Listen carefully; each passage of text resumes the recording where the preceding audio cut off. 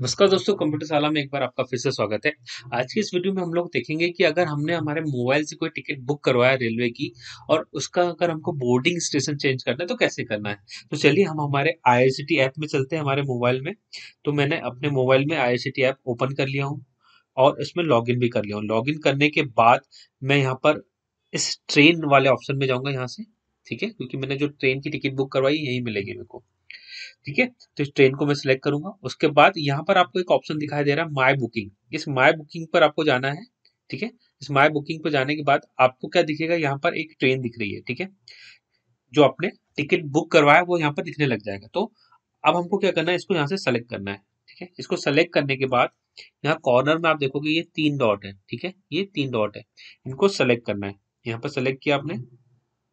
Select करने के बाद यहाँ पर बहुत सारे ऑप्शन आते हैं। Current status cancel ticket change boarding point ठीक है? उसके बाद यहाँ पर जो ऑप्शन है चेंज बोर्डिंग पॉइंट इस पर मैं यहाँ पर क्लिक करूँगा तो हमने जो स्टेशन जो सोर्स स्टेशन हमने, जहाँ से हमने टिकट बुक करवाई, हम उसके आगे वाले स्टेशन को ही चेंज कर सकते हैं। मतलब हम उसी, उसके आगे वाले स्टेशन को ही सेलेक्ट कर सकते हैं बोर्डिंग पॉइंट के रूप में। जैसे कि मैंने आमला से स्टेशन से ट्रेन का टिकट बुक करवाया। अब मैं आमला से आगे आने वाले कोई भी स्टेशन को ऐसे बोर्डिंग पॉइंट चूज़ कर सकता हूँ। तो यहाँ पर आप देखोगे तो मैं यहाँ से कोई भी स्टेशन को यहाँ से चूज़ कर सकता हूँ।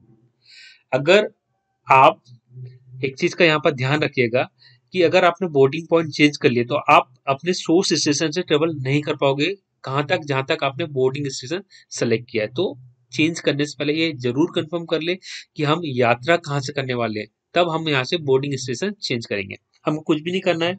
जिस भी स्टेशन नेक्स्ट स्टेशन से हमको यात्रा करना है, उसको यहाँ सेलेक्ट करेंगे। अपडेट बोर्डिंग पॉइंट पर क्लिक करेंगे। सिर्फ़ इतना करते ही आपका जो स्टेशन है, वो चेंज हो जाएगा। और ये एक बार चेंज हो गया, दोबारा रिवर्ट नहीं होगा, इसलिए बहुत ध्यान से इसको करिएगा। मैं अभी नहीं कर रहा हूँ, क्योंकि मेरे को इसको चेंज नहीं करना है। ठीक है? आज की वीडियो में इतना ही। अगर वीडियो अच्छा लगा हो तो हमारे चैनल को सब्सक्राइब करें, हमारे वीडियो को ज़्यादा से ज़्यादा शेयर करें। थैंक यू फॉर वॉचिंग अगर आपको हमारा वीडियो पसंद आया हो तो हमारे चैनल को लाइक और सब्सक्राइब करना ना भूले। साथ ही बेल आइकन को प्रेस करना ना भूले ताकि लेटेस्ट अपडेट सबसे पहले आप प्राप्त कर सके। Thank you for watching computer साला।